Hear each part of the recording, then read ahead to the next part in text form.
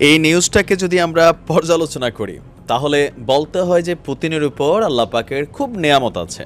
রাশিয়ার উপরে আল্লাহ পাকের একটা বিশেষ নেয়ামত আছে। এমনি তো আছেই। বিভিন্ন খনিজ সম্পদ দিয়ে এই দেশটারে এতটা ধনী করে রাখছেন যে ভ্লাদিমির পুতিন এক হাতেই সারা পৃথিবীর সাথে লড়াই করছে। এর মাঝখানে এই যুদ্ধে যখন পুতিনকে আমরা সবাই রাক্ষস, খুক্ষস, কেউ বলতেছে হ্যাঁ মানে নানান ধরনের শব্দ উপ- উপমা প্রয়োগ করতেছি, কেউ আবার গজব দিতেছে ইউক্রেন প্রেসিডেন্ট জেলেন্সকি থেকে।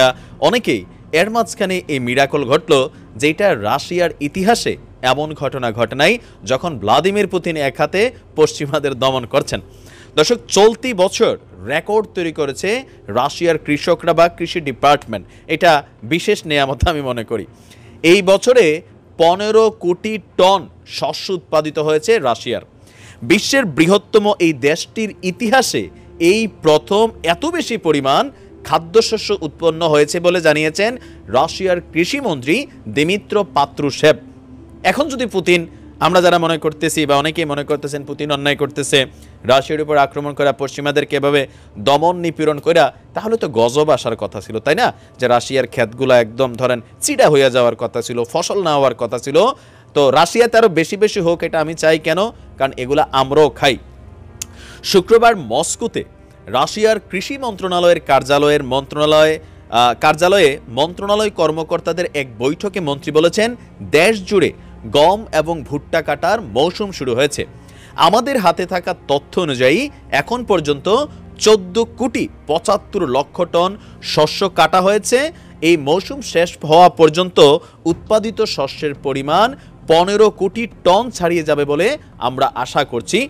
রাশিয়ার সমস্ত কৃষক ও দেশের কৃষি খাতের জন্য এটি একটি দারুণ সুসংবাদ, আমাদের জন্য সুসংবাদ কারণ আমরাও রাশিয়ার থেকে গম কিনতেছি। বেশি বেশি হইলে মোটামুটি কম দামে হয়তো পুতিন কাকু আমাদেরকে দিতে পারেন কারণ অলরেডি রাশিয়ার গমের জাহাজ কিন্তু চট্টগ্রামে আসছে। বিশ্বে খাদ্যশস্য উৎপাদনের শীর্ষে থাকা দেশগুলোর মধ্যে রাশিয়া অন্যতম। এর আগে দেশটিতে সর্বোচ্চ শস্য উৎপাদনের রেকর্ড হয়েছিল দুই হাজার সতেরো সালে। ওই বছরে মোট তেরো কোটি পঞ্চান্ন লক্ষ টন খাদ্যশস্য উৎপন্ন হয়েছিল রাশিয়ার।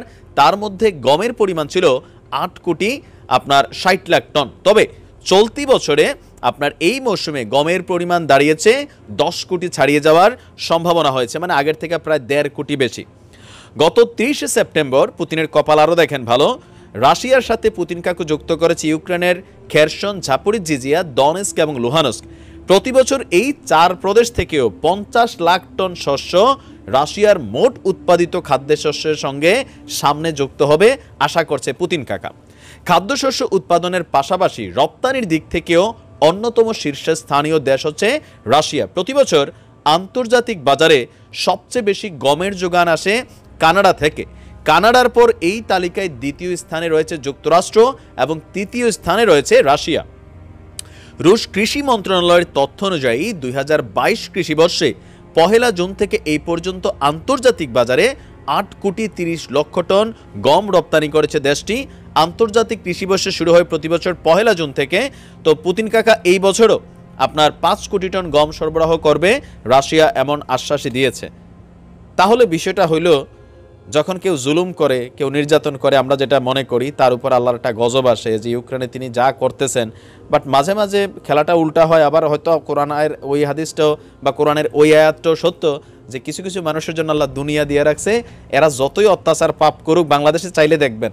আছে না? পাঁচ ওয়াক্ত নামাজ পড়েন, ভালো কাজ করেন, এরপরে খালি বাটে পড়েন, এলাকার সম্মান নাই, মানুষে বিপদে ফেলায়।